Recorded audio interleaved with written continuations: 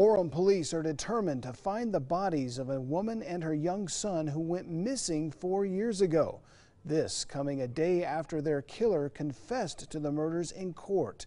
ABC4's Rosie Nguyen joins us live from the Orem Police Department with how investigators got to this point. Rosie? Rick, prosecutors say it took years for them to gather evidence and put together a strong case against Christopher Poulson to get him to confess.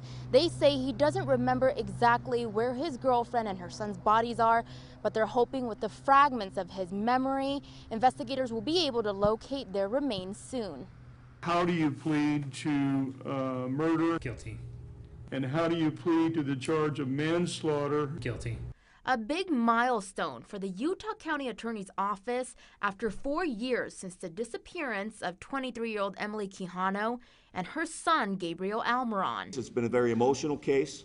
It's one that uh, we have known from very early on that there was something wrong.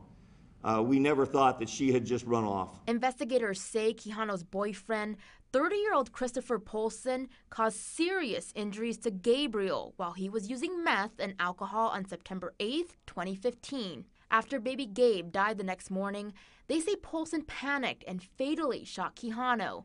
Prosecutors say it was thanks to their strong case and evidence against Poulson that he finally confessed and accepted a plea deal on Tuesday. He just really didn't have any wiggle room, and that if we went to trial, he was going to be convicted which is what led to this plea. Quijano's family say they're grateful for all of the detective work put in by investigators.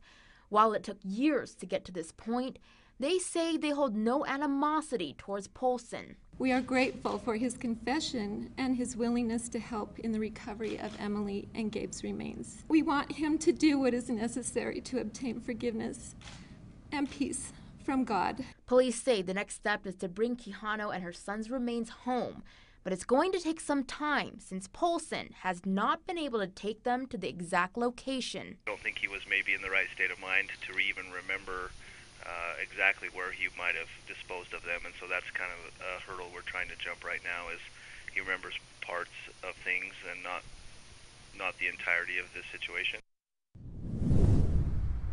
Police say at this time they're not ready to share the approximate location of the bodies. All they can tell me at this time is that it's likely a desolate area right outside of Utah County. If they can't locate the remains themselves, they'll ask for help from volunteers and the public. Reporting live in Orem, Rosie Nguyen, ABC4 News.